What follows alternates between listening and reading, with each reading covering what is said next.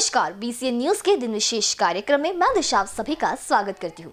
देश में हर साल 11 नवंबर के दिन राष्ट्रीय शिक्षा दिवस मनाया जाता है। भारत के पहले शिक्षा मंत्री मौलाना अब्दुल कलाम आज़ाद की जयंती के दिन इस दिवस को मनाया जाता है।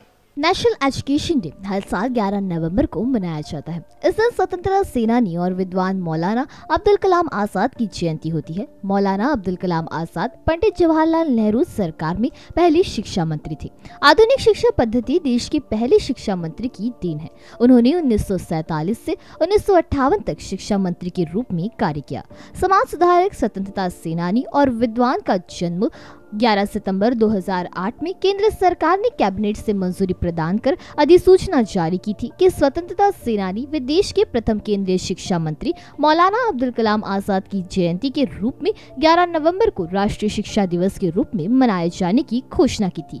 तभी से देश के सभी शैक्षणिक संस्थानों में ग्यारह नवंबर को राष्ट्रीय शिक्षा दिवस मनाया जाता है। देश में शिक्षा के स्तर को ऊपर उठाने में मौलाना आज़ाद का बहुमूल्य योगदान है।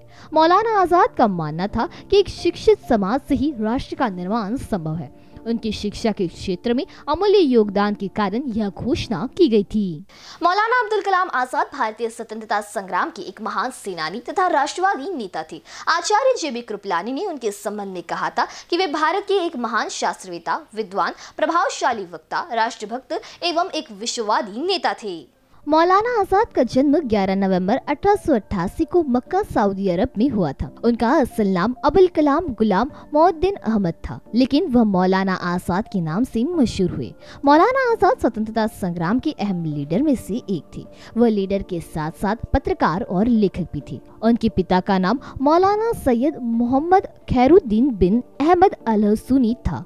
उनके पिता एक विद्वान थे, जिन्होंने बारह किताबें लिखी थी और उनके सैकड़ों शागिर थे। कहा जाता है कि वे इमाम हुसैन की वंश थी। उनकी माँ का नाम शेख आलिया बिनते मोहम्मद था, जो शेख मोहम्मद बिन जहर अलवत्र की बेटी थी। साल 1890 में उनका परिवार मक्का से कलकत्ता शिफ्ट हो गया था।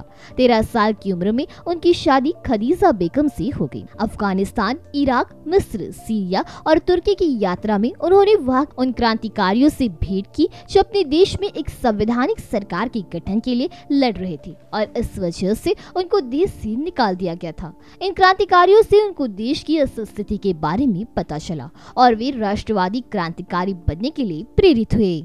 आधुनिक काल के प्रसिद्ध हिंदी व राजस्थानी लेखक कन्हैयालाल सेठिया का आज के दिन 11 नवंबर 2008 को निधन हुआ था। कन्हैयालाल सेठिया आधुनिक काल के प्रसिद्ध हिंदी व राजस्थानी लेखक थे। इनकी सर्वाधिक प्रसिद्ध काव्य रचना पातल व पीतल है। राजस्थान में सामंतवाद के खिलाफ इन्होंने ज़बरदस्त मुहिम चलाई थी और पिछड़े वर्ग को आगे लाने में महत्वपूर्ण योगदान दिया।